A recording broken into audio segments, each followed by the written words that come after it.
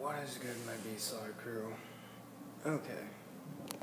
Now, it's been really good so far in Seattle, Washington. I really have enjoyed it.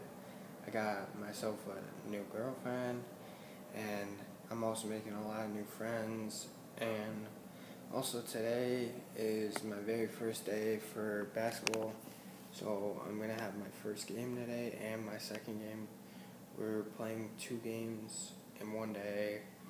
I'll be broadcasted live on ESPN for my games today.